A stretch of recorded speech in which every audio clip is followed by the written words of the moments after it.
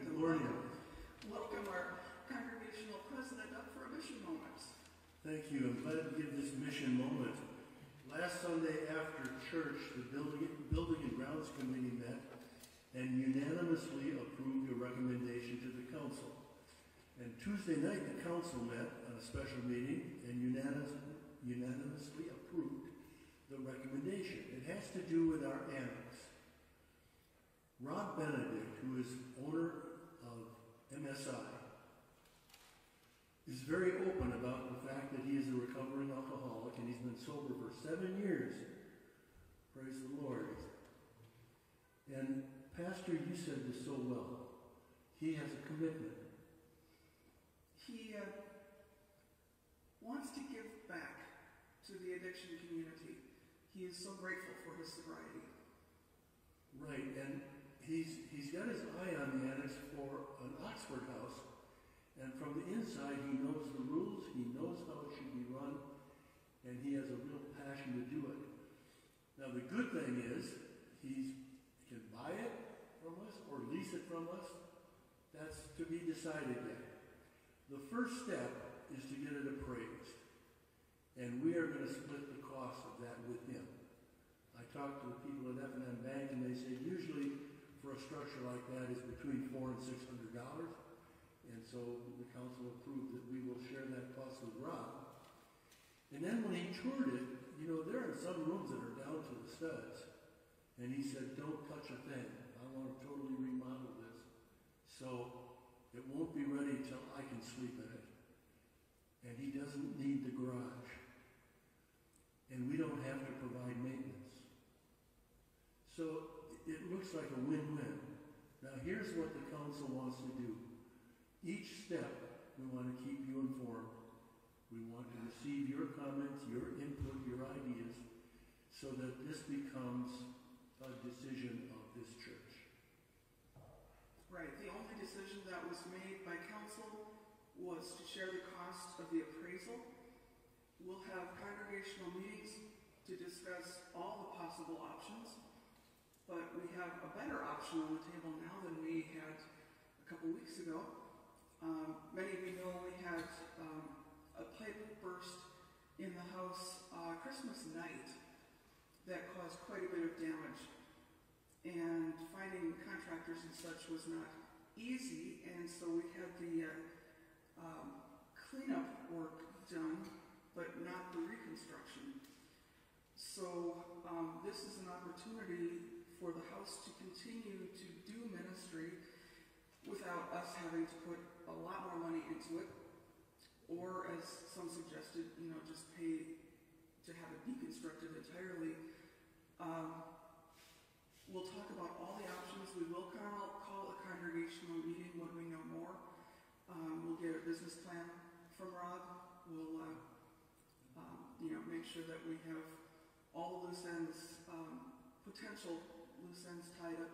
But if you have any questions at all, contact a member of church council or buildings and grounds. Um, but we're excited that um, we might not have to stick any more money into this house. Well, Rob, Rob said, don't do a stick of more work in there. And there's a huge sigh of relief from the Building and Grounds Committee. Our members have done a bunch of work over there, and it's just off of our shoulders. It's coming off of our shoulders, hopefully. So we'll keep that in prayer. And um, I have great trust in Rob Benedict. He's a man of character, and he's more than just a businessman in this community. One- Just one uh, last thought. Thank you to all of you who helped get it ready um, and have worked on the house over these many years. Um, but I know um, Howlands and Johnsons and Clarks um, have put in a lot of hours. And the, the, the thing that strikes me as a holy moment on this Pentecost Sunday is the last time we invited the congregation to open house in that in that house, we blessed it. We dedicated it as an Oxford house. And you know,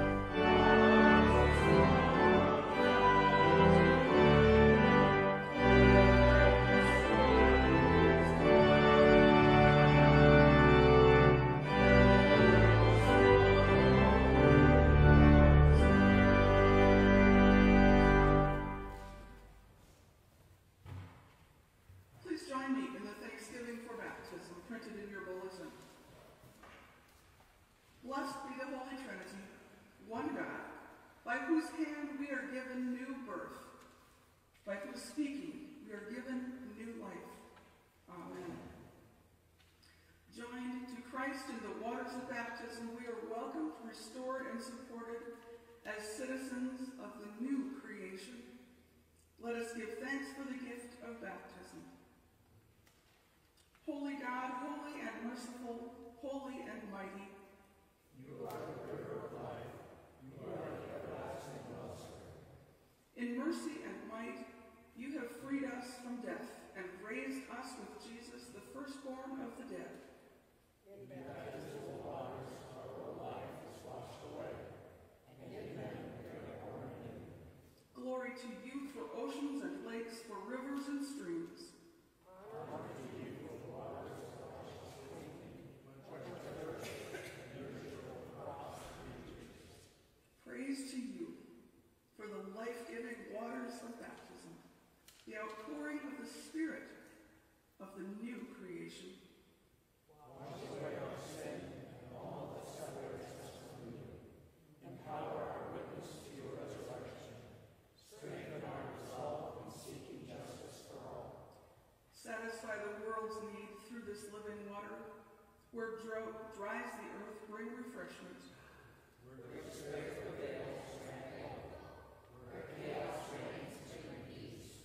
We ask this through Christ, who with you and the Spirit reigns forever.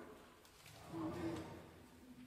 The grace of our Lord Jesus Christ, the love of God, and the communion of the Holy Spirit be with you all.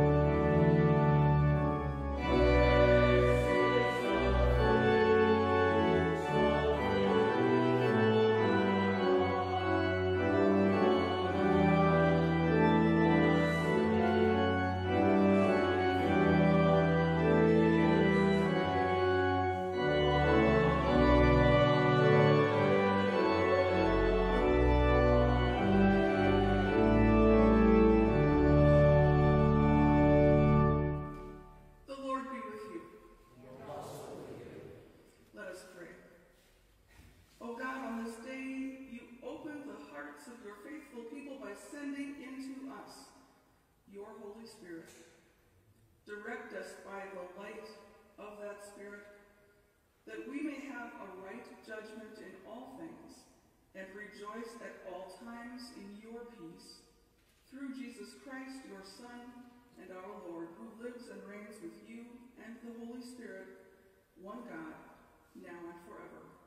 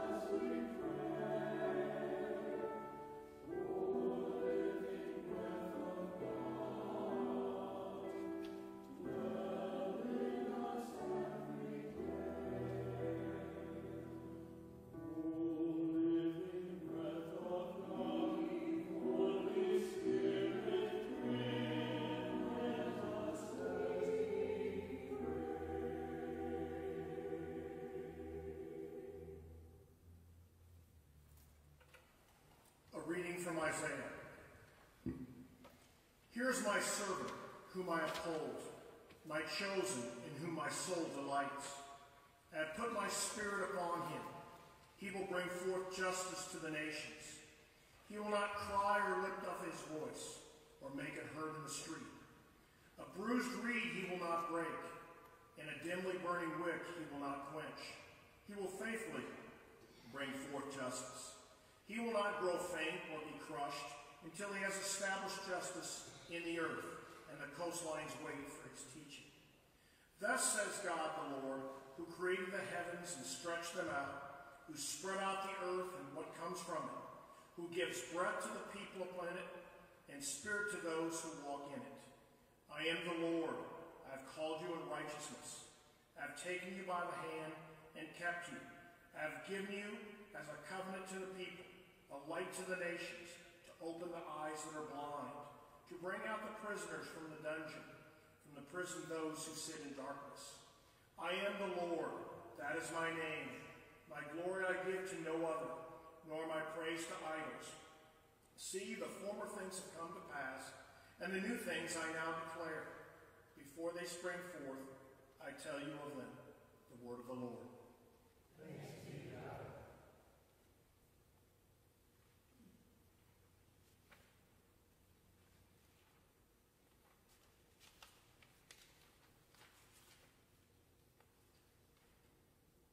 Our second reading this morning comes from Acts, a reading from Acts. When the day of Pentecost had come, they were all together in one place. And suddenly from heaven there came a sound like a rush of a violent wind, and it filled the entire house where they were sitting. Divided tongues as of fire appearing among them, and a tongue rested on each of them. All of them were filled with the Holy Spirit and began to speak in other languages, as the Spirit gave them ability. Now there were devout Jews from every people under heaven living in Jerusalem. And at the sound, the crowd gathered and was bewildered, because each one heard them speaking in the native language of each. Amazed and astonished, they asked, Are you not all these who are speaking Galileans? And how is it that we hear each of us in our own native language? Parthians, Medes, Elamites, and residents of Mesopotamia, Judea, and Cappadocia, Pontus and Asia, Phrygia and Pamphylia, Egypt and the parts of Libya belonging to Cyrene, and visitors from Rome, both Jews and proselytes. Cretans and Arabs, in our own language we hear them speak about God's deeds of power. All were amazed and perplexed, saying to one another, What does this mean? But others sneered and said, They are filled with new wine. Then Peter addressed the crowd. But Peter, standing with the eleven, raised his voice and addressed them.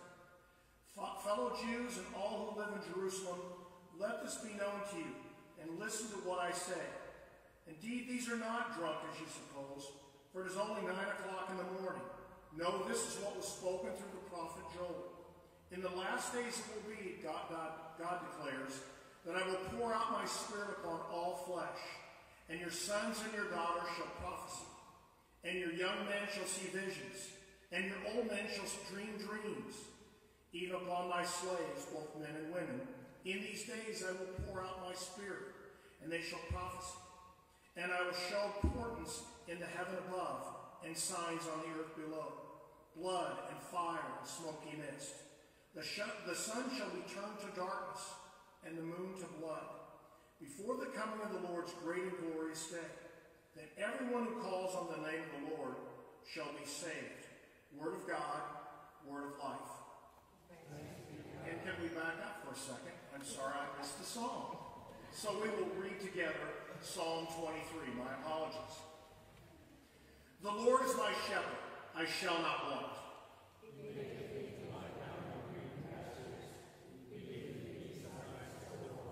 He restoreth my soul. He leadeth me in the path of righteousness for the name's sake.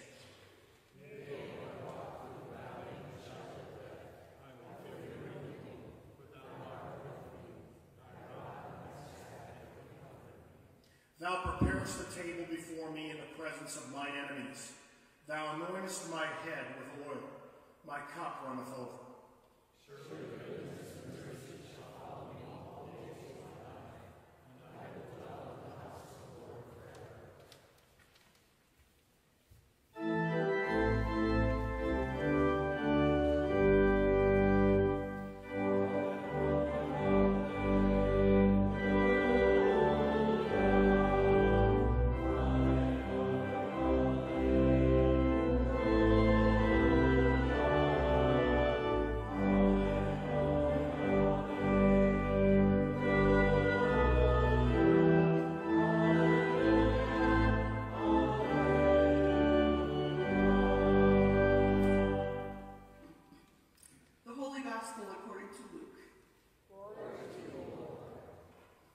Then Jesus, in the power of the Spirit, returned to Galilee, and a report about him spread throughout all the surrounding region. He began to teach in their synagogues and was praised by everyone. When he came to Nazareth, where he had been brought up, he went to the synagogue on the Sabbath day, as was his custom. He stood up to read, and the scroll of the prophet Isaiah was given to him. He unrolled the scroll and found the place where it was written, The Spirit of the Lord is upon me, because he has anointed me to bring good news to the poor. He has sent me to proclaim release to the captives and recovery of sight to the blind, to set the oppressed free, to proclaim the year of the Lord's favor. And he rolled up the scroll, gave it back to the attendant, and sat down. The eyes of all in the synagogue were fixed on him. Then he began to say to them, Today, this scripture has been fulfilled in your hearing. The Gospel of the Lord. Please be seated. It's not often when the president of your congregation is also an ordained minister. And uh, Pastor Bob here was invited to preach at Allen Chapel this morning, and we're all invited to go over for their service at 11 o'clock. But I thought, let's let's try out your message on our folks first. We're delighted and we're blessed by it.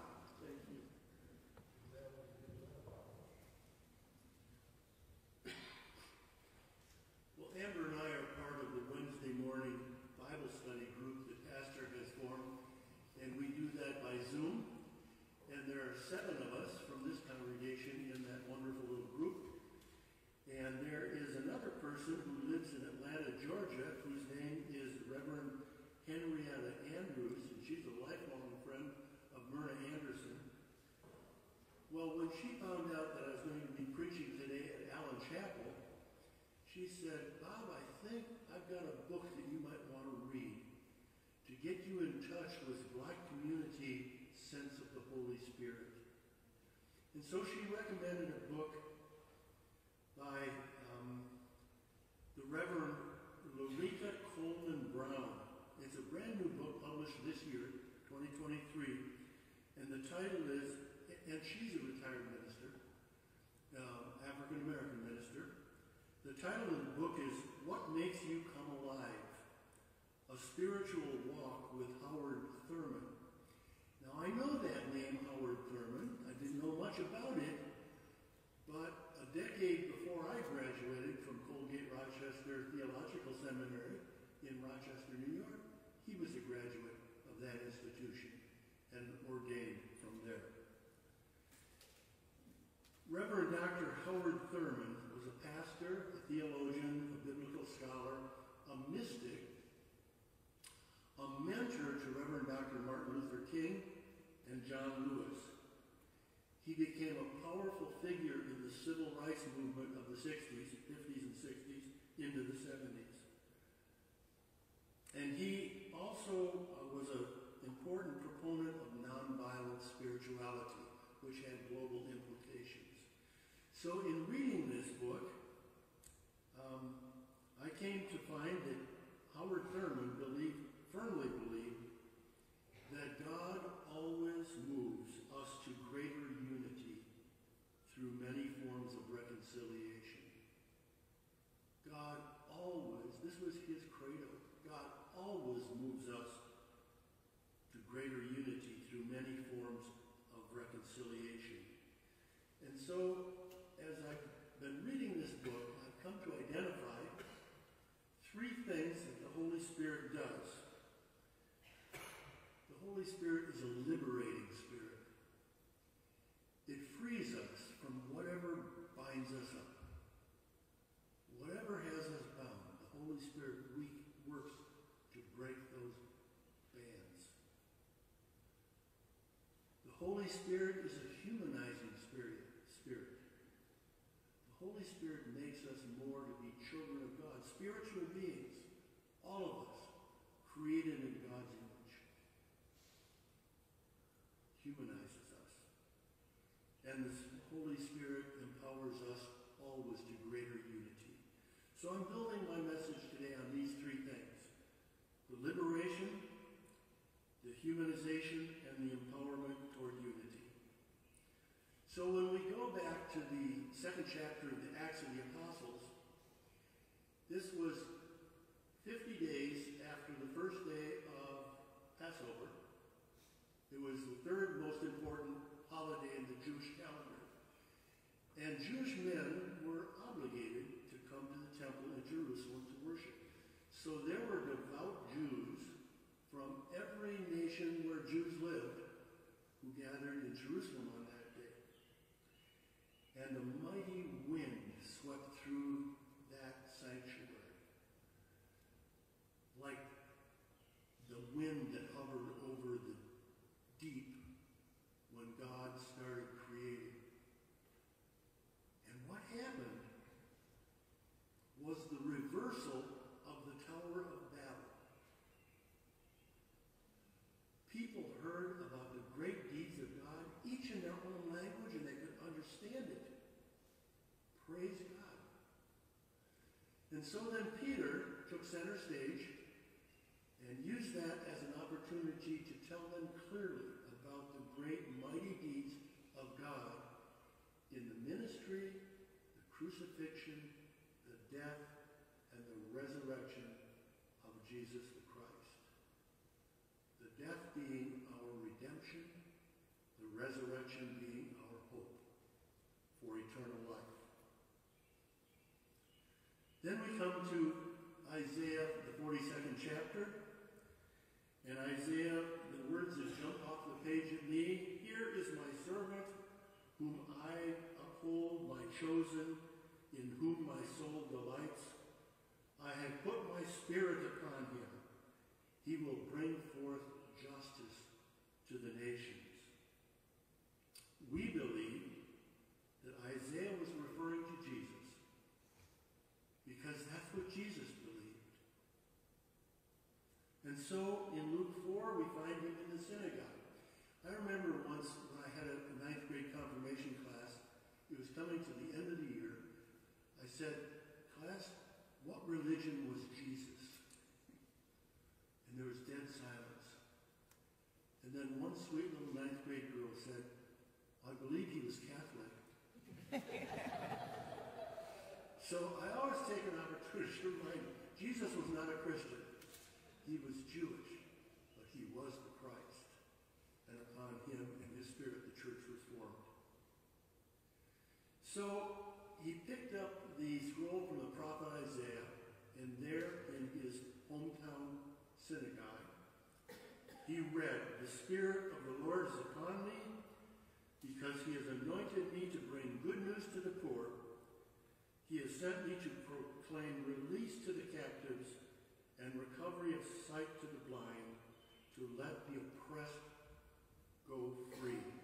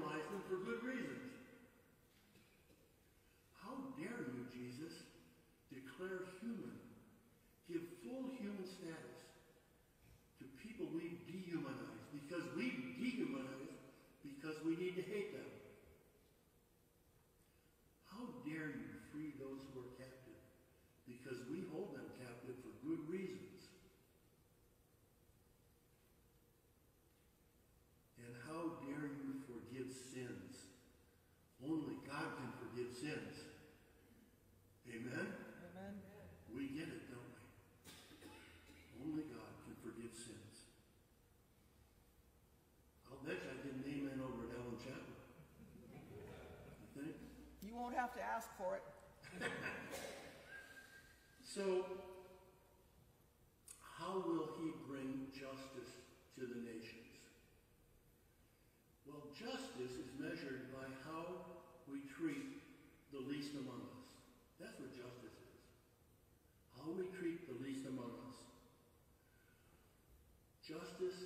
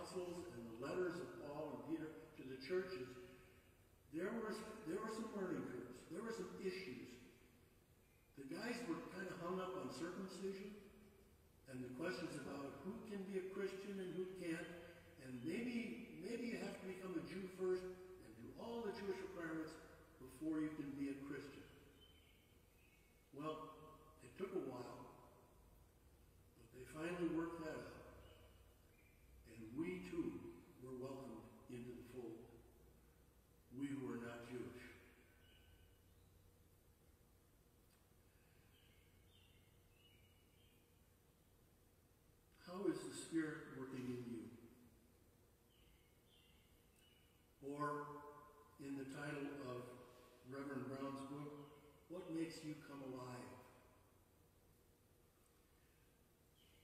The Holy Spirit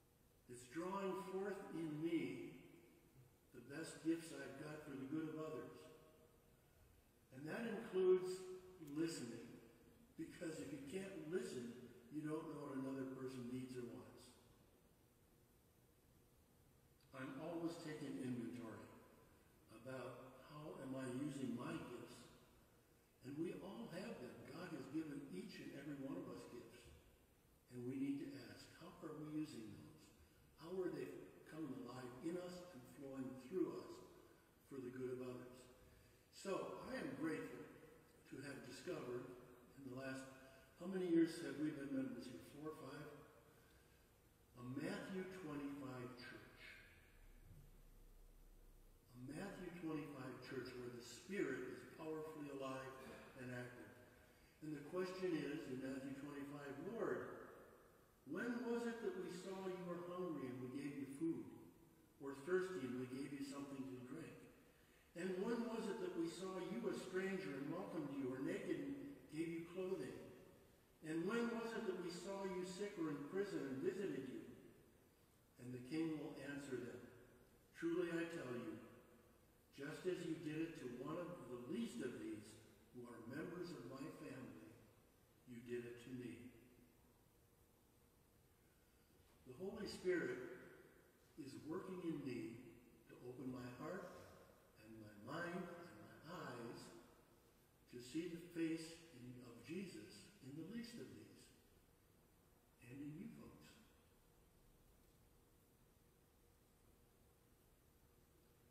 Worshipping with you makes me come alive.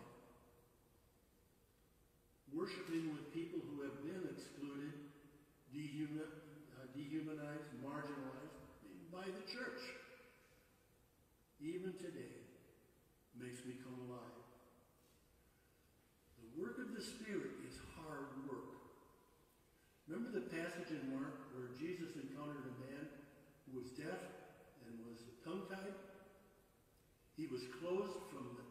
outside in and clothed from the inside out. And Jesus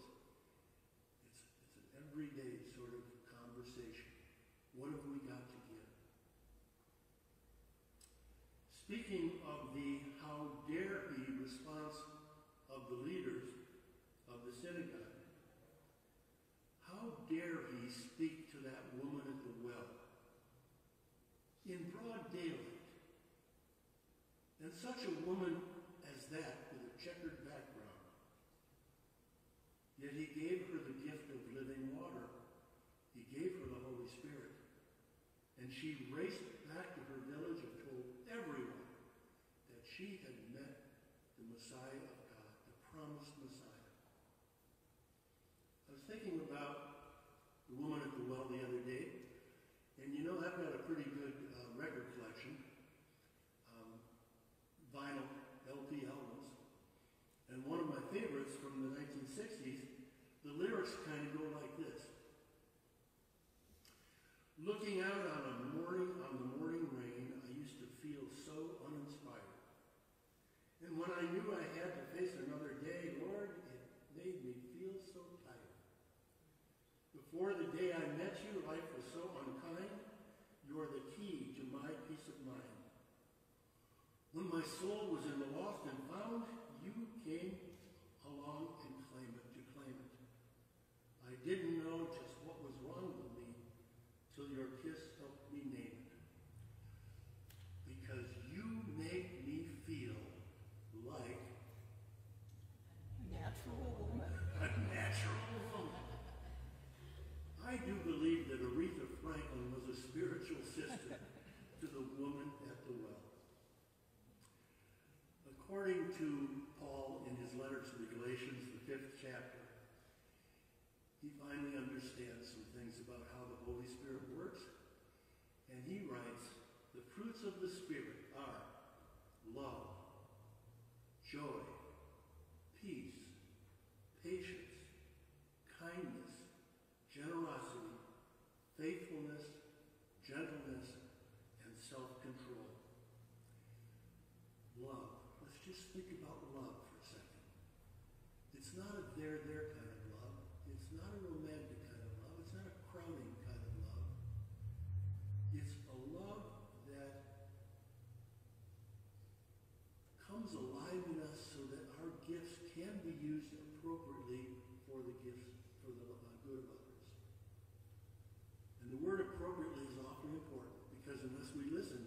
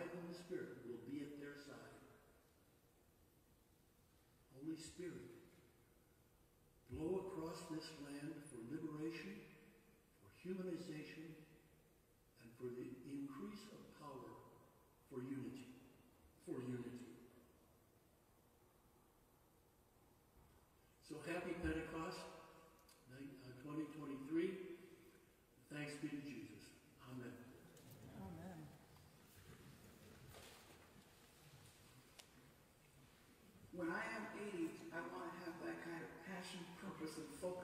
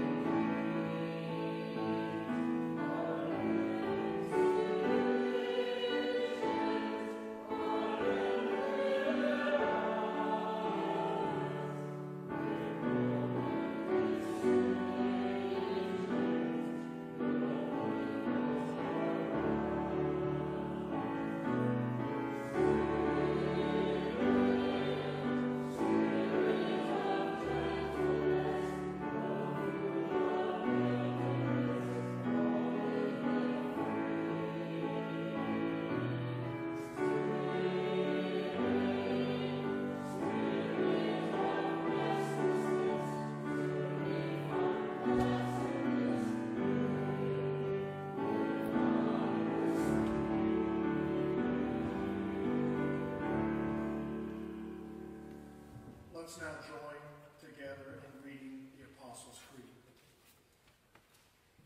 I believe in God, the Father Almighty, creator of heaven and earth. I believe in Jesus Christ, God's only Son, our Lord, who was conceived by the Holy Spirit, born of the Virgin Mary, suffered under Pontius Pilate, was crucified, died, and was buried. He descended to the dead. On the third day he rose again. He ascended into heaven. He is seated at the right hand of the Father, and he will come to judge the living and the dead.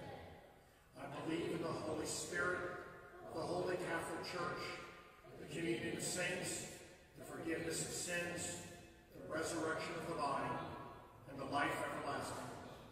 Amen. Now let's join together in our prayers and intercession. United in the hope and joy of the resurrection, let us pray for the church, the world, and all in need. Passionate God, you sent your Spirit through the gifts of fire, wind, and word. As you equip the disciples for their work, equip us to bring the good news to all those who long for you. Hear us, O God. Restoring God, wind and flame brings life and destruction throughout the world. We pray for those who work with wind energy, for migratory birds, for, for protection for lands facing destructive fire, for forestry managers and firefighters. Renew the face of the earth. Hear us, O God. Ever present God, your spirit embraces all. Send your spirit of understanding to immigrants, refugees, and any experiencing language barriers. Bless the work of translators, ESL teachers, ambassadors, and international peace organizations. Safely guide those fleeing war and danger. Hear us, O God. Merciful God, you anoint us with your Spirit. Bless nurses, doctors, midwives, chaplains, counselors, and hospice workers as they care for those in need. We pray for all who seek your comfort. Hear us, O God. Generous God, you impart a variety of gifts. Set aflame the desire to learn from one another, especially those who differ from us. Make your presence known through missionaries, peace workers, and through the outreach ministries of our synod and community. Hear us, O God. Life giving God, we give thanks for those who died to new life in you. As we observe Memorial Day, we remember those who died in military service. Comfort all who mourn and usher in a world where war is no more. Hear us, O God. Your mercy is great. Rejoicing in the victory of Christ's resurrection, we lift our prayers and praise to you, Almighty and eternal God, through Jesus Christ, our risen Lord. Amen. The peace of Christ be with you always.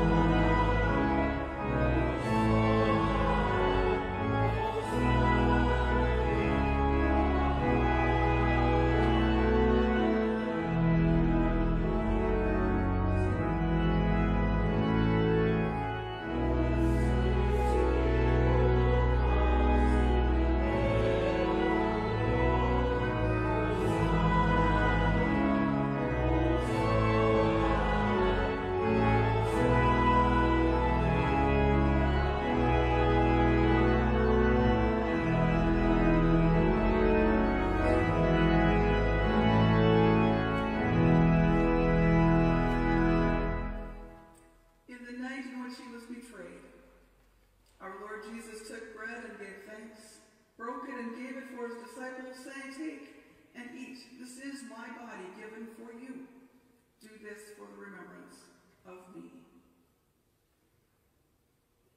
Again, after supper, he took the cup, gave thanks, and gave it for all to drink, saying, This cup is the new covenant in my blood, shed for you and for all people for the forgiveness of sin. Do this for the remembrance of me. Gathered together by the Holy Spirit, we pray as Jesus taught us. Our Father, who art in heaven, hallowed be thy name. Thy kingdom come, thy will be done, on earth as it is in heaven. Give us this day our daily bread, and forgive us our trespasses, as we forgive those who trespass against us. And lead us not into temptation, but deliver us from evil. For thine is the kingdom, and the power, and the glory, forever and ever. Amen. This is the meal of Jesus. He is the host, and he has invited us all through his Spirit to attend. Come, receive the Holy Supper. And now the holy and precious body and blood of our Lord and Savior Jesus Christ strengthen you and keep you in his grace now and forever. Amen. Gracious God, in you we live and move and have our being. With your word and this meal of grace, you have nourished our life together. Strengthen us to show your love and serve the world in Jesus' name. Amen.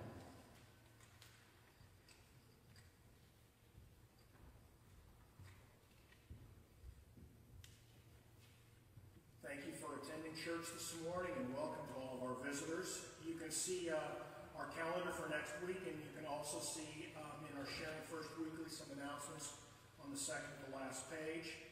Uh, I think that there's one that we can certainly highlight there, a message from the Endowment Committee after Judy talked last week in our mission moments about um, our fund growing, growing a little smaller in terms of our food pantry and the wonderful uh, uh, gift from the endowment committee and also another possible match there. So thanks be to God for all of that. And again, also I think that our our church does so many things uh, in so many great ways to so many people, and we don't get that done without all of the generous um, time and talents by our members. And I know that, that uh, last week in our kitchen, day in and day went in there and stripped and then waxed the floor in there. So there's so many nice things that are done here, and they should certainly be noted. Pastor? Thank you, Steve. Speaking of Dan Randall, our uh, buildings and grounds steward, he is retiring at the end of June. We talked him out of it two years ago, but um, it's time, and we wish him well. But what you all can do is think of some of the ways, many ways, that Dan has gone over and above to really steward and care for our buildings and grounds. And drop him a little note send him a thank you. This Wednesday, I am going up in the bell tower with Dan. I'm going to see what the view really looks like up there with someone who uh, has been up there and knows all about the inner workings of the bell tower. So um, I don't have a time yet, but that's going on. Um, I wanted to, to take a minute and th- thank the choir. This was their last Sunday for the season, and they enrich our worship so very much. Not just with their anthems, but with um, supporting the hymn singing and making us all feel like we're part of a, bigger chorus. Um, speaking of that, I do have an article in the Register Mail print edition today about the larger chorus. But I especially want to thank our college students because they're heading out.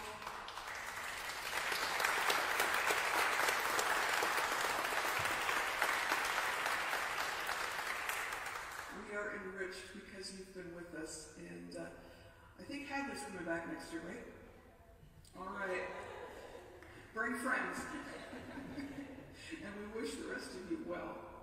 The flowers by the cross this morning are from the service for David Nestander. Um, David Nestander was a longtime church musician and uh, didn't worship with us very often because he was always at another congregation. But um, we remember him as we remember Marilyn Olson, who was out at Knox County Nursing Home for a long time. She is uh, she is at home with Jesus now. Um, this week begins Knoxville Summer Band. We have a number of our members who will be playing in it, and um, our own Bob Fornander has taken the baton from Bob Clark. But Bob and Amber will still be very much part of it. Um, Vince and I, Sarah, you play? Not this year. A little busy, huh? all right, but you're all invited to come out for that. Um, with that, that's all the announcements I have. I want to tell you all that our summer worship will be cut back in time. It will be more brief than it has been these last weeks, and in fact, it will be more like COVID brief because most of us know what this building is like where the heat and humidity go up, and nobody needs to stay long in a brick oven in order to worship together. So we invite you to rise for the final blessing and dismissal. The God of all, who raised Jesus from the dead, bless you by the power of the Spirit to live in the new creation. Amen. Go in peace, serve the risen one. Thank you.